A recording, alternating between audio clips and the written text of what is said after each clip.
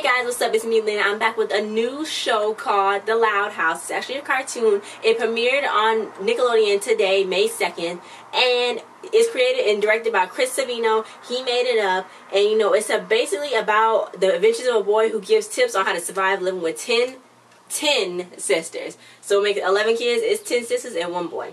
10 Girls, One Boy. So, it's animated television series, you know, they got like other shows on Nickelodeon, SpongeBob, you know, that's basically Nickelodeon as a whole. And I watched it, it was whole 30 minutes, but it was two episodes in one. Let's start with the cast. So, you got Lincoln Loud, the Loud House, they all names Loud, voiced by Grant Palmer. At 11 years old, Lincoln is the only son in middle child of the Loud family. He's an avid reader of comic books and frequently speaks to the viewer on how he gets around the often chaotic conditions of the household by finding creative solutions to his problems which makes good sense. You got Lori Loud, voiced by Catherine Taber. At 17 years old, at 17 years old, she's the eldest of the Loud children. A fact she takes pride in. Lori is depicted as bossy, sarcastic, and condescending towards Lincoln, despite that she does care about her brothers and sisters. Leni Loud, Liliana, Liliana Mumy, she voiced her. She's a 16 year old. She's the second oldest of the children. Leni is depicted as a dumb blonde who's kind of kind and pretty, but is naive and lacks intelligence. She shows her talents in fashion designing. Then you got Luna Loud. At 15 years old, she is the third oldest child of Loud family. Luna is a free spirited musician and interested in rock and roll. And the person who voiced Luna Loud is Nika Futterman. Then you got Luan Loud, voiced by Cristina Pucelli. She's 14 years old. She's the fourth oldest of the Loud children. Luan is fond of practical jokes and comedy, and she wears braces but has squirt floss on her shirt and shoes and owns a ventriloquist dummy named Mr. Coconuts.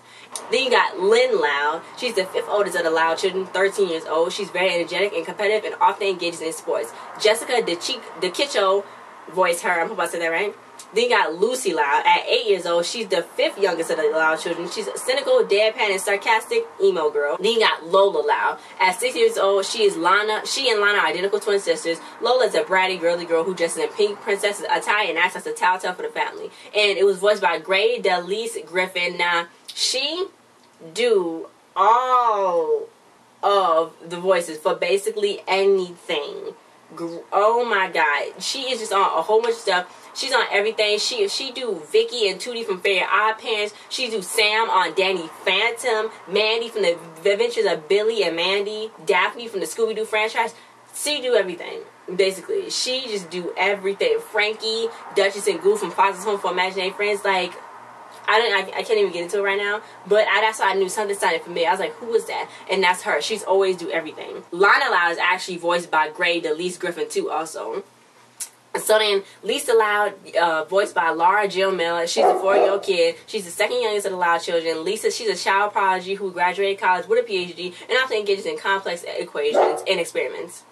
And you got Uh, that's all the loud children because there's a lot of them. Then you got Lincoln's best friend Clyde McBride. He's voiced by Caleel Harris. His best friend, he serves as a wingman to him and his exploits. He's an only child and spends almost all his time with Lincoln. He got a crush on Lori basically and is like obsessive.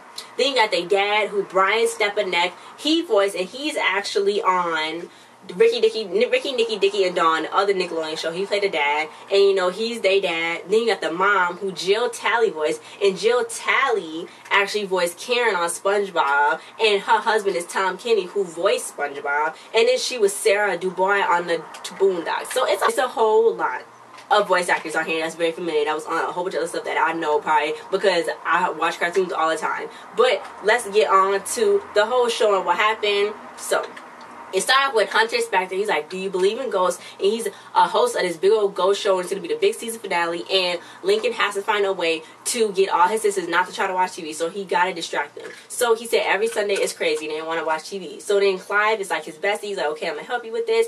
But then he was like, Okay, his operation distract my sisters so I can watch TV. So then he got three of them. Then he got the first three. Then he got Lisa, and she's all like science kids stuff. He got her her science stuff. Then he got Linda. Then he had Leni, and then he had Luna, and then he had yeah he just got everybody. He got the little baby. Then he's like that makes ten. Then he's like I'm not the fastest or the strongest, but I can do this if I got a plan. But then he forgot Lucy. He was like oh my god I forgot about you. She's like story of my life. And then she was like, okay, come on. And he was like, well, I gotta watch my vampire show because I like vampires. But then he was like, okay. But wouldn't you like to watch on like a black and white TV that dad got? And he's like, what? And she's like, okay. So she, he fooled her into getting the black and white TV so he could watch that TV. And then he went to go plug it in, and then the whole power went out. So it was like, oh my god. Why. So then everybody was so mad at him. Luan was glowing, and at Lisa used them for like her experiments. She actually put the bioluminescence from something else and put it in the cookie, and she called it a glorium. And I was like, okay. And it's you know, she, they was like, okay, well you can you can light up. But Lori is since she's the oldest, she's in charge when the gone. So then Luan kept making light jokes. She was like, she went out, like her whole light went out. She's like, I thought I was staying in, but I guess I'm going out. Everybody was like, Luan, shut up. I thought it was cool. So then, you know, they was like, let's go in the basement and stuff. Go get the power switch. So then, what's the Lori was like, I can't do that. I'm scared. Well, at first she was scared. But then Lincoln was like, okay, I'll just do it. We'll be brave. So then he was like, okay, um, I need Clyde. So he was like, Clyde was like, is that Lori? And he was like, circuit overload, must abort mission. Every time he see Lori, he do that. So then, you know, he fell down the basement stairs. Lincoln did, but they all went down there by by you know each, each other because then they used Luan's night camera so she's like, I do like dark humor. Then Lily got like a full diaper, and they thought it was a ghost, but it was just a laundry. So Clyde was like, I'm sorry I left. Does Lori want to be with a younger man? And she was like, no. He was like, mission abort, mission abort. So then he finally made it to the TV, but then he started crying because he missed his whole show. So everybody was like, I'm sorry guys, but you lived your show. They all grabbed like him some popcorn and stuff and hugged him. And then they watched the show, which was just like his own ghost show that he liked to watch because they was down in China's turn on the power switch, and it was like a ghost down there. So then he was like, "It's not about getting there first; it's about being all together." Then he, then Lucy was like, "He forgot me," and they was like, "Cause they they think she's so scary." Oh my god. Then he's like, "You forgot me." So then they went into the second episode, which they had in like one, you know, two episodes in one. But normally that's what they do with cartoons. So then you know, Lincoln he was playing, and he was like, "Take that zombie, feel my twerk, evil jerk," and I was like, "Okay."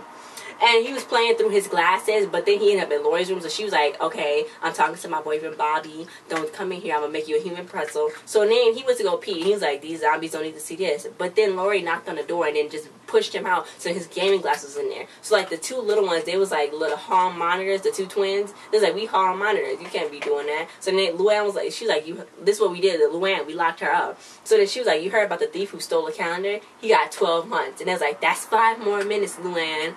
Don't be doing that. So then his glasses are just ruined. They stepped on him. So he told Clyde, and he was like, "Oh my God, Luan's uh, beautiful tootsies touched these," and he was like, "Dude, get yourself together first.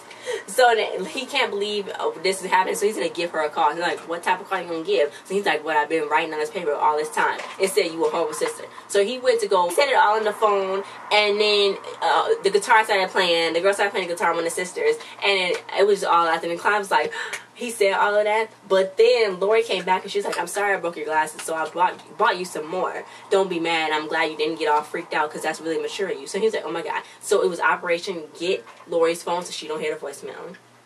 Then they had to do that, but she got a key and a keypad to her room. So how are you gonna do this? So Clyde's gonna be on the lookout, and Link was like, "It's the popo." So Clyde was like, it's the monitors. They like, is that poop? And they like, all that floor. So they gotta figure out what's gonna happen. And they gotta distract them. But then Clyde was like, you talking to me the whole thing. You know what I'm saying? You gotta talk to me and stuff. Then it was like a whole plan.